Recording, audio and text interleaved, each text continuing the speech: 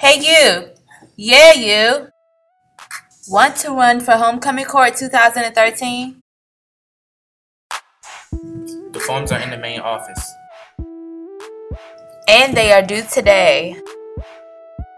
To Miss Baker, room 207.